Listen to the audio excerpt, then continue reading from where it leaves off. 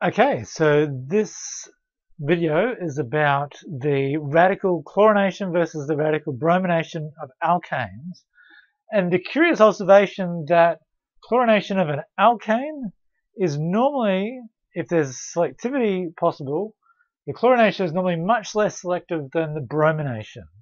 And so um, let's look at the case of propane, in propane. If we chlorinate that under um, UV conditions, so radical chlorination, we're generating chlorine radicals, and we get around a 60-40 mixture of the uh, secondary alkyl chloride versus the primary alkyl chloride.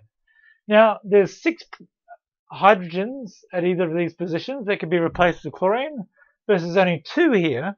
So we might expect by uh, statistics for there to be more of this compound than this one. So there is some selectivity. But what's more curious is when we brominate propane. When we brominate it under um, photolytic conditions, we get a very high selectivity for the secondary alkyl bromide versus the primary alkyl bromide. Much higher selectivity than in the chlorination. Okay, so why is that the case? Well, when you chlorinate, you generate a very high energy chlorine radical species. So we start off at a very high point on our energy diagram. Okay, so this is going to be the reactants.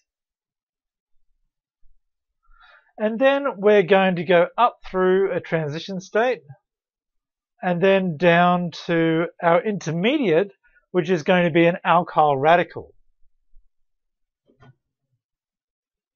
So there's our intermediate there.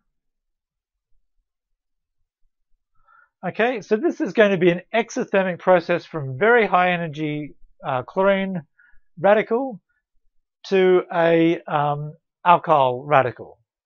And if we look at this, because the transition state here is close in energy to the reactants, Hammond postulate says that they should be similar in structure.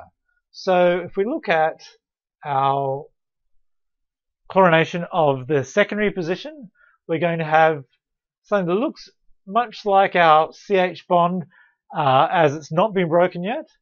And then a very long developing uh, hydrogen chlorine bond, and then some partial radical character on the chlorine and partial radical character on the carbon. But there's going to be very little radical character developing at the transition state. And so this secondary radical, we know that secondary radicals are more stable than primary, but the difference between this transition state and the one leading to the primary radical, there's not a lot of energy difference. And so we see relatively little difference in energy, uh, very little difference in the uh, ratio of the two, or very little selectivity. Okay, if we look at the bromination, we're going to start here. Okay, there's our reactants. And we're going to go up through a transition state again, but then we're going to go down to intermediate, so much higher in energy than in the chlorine case. So there's our intermediates. And that's because the bromine radicals are relatively stable compared to the chlorine radicals. And so now our transition state looks relatively similar to the intermediate, the uh, radical that we're forming, the alkyl radical. And so our transition state now is going to look more like the intermediate than the starting material. So we're going to have a very long uh, carbon-hydrogen bond that is exaggerated, and then a quite a short and very developed carbon uh, hydrogen-bromine bond. We're going to have some partial radical character on the bromine, and we have a very substantial partial radical character on that carbon. We know that secondary alkyl radicals are more stable than primary, and so the difference between this transition state